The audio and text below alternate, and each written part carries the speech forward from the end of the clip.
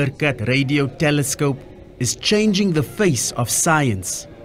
The first scientific paper that was published based on observations from the site was published five years ago. Since then, it has been instrumental in changing the landscape of astronomy, science, and technology globally. The project has also provided training opportunities for young scientists as well as research opportunities. And hundreds of scientific papers have now been published with the use of the MeerKAT Radio Telescope, which is based in the Northern Cape. Uh, how fantastic the instrument is that we've been able to publish more than 260 papers to date uh, in its, you know, in this short period.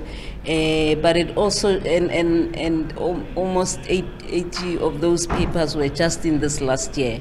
Uh, what it tells us is that with the amount of data that we've collected, we, we can expect the growth in publications to continue, but it also means that there's sufficient science that can be done. So all the people that we are training will have uh, the ability to still use the data from this instrument uh, to produce even more fantastic science results. The project forms part of government's plans to develop science and technology in South Africa.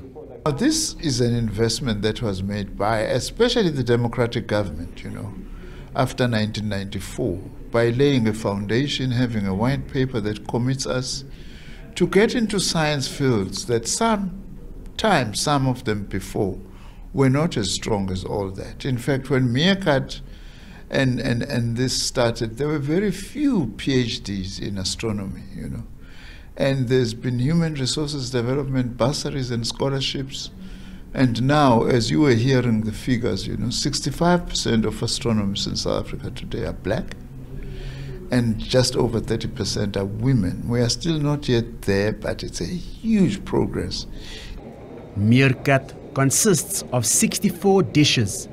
It will be integrated into the SKA1 MID project in the Northern Cape in the coming years, which will include an additional 133 dishes, bringing the total number of dishes for the SKA1 MID project to 197.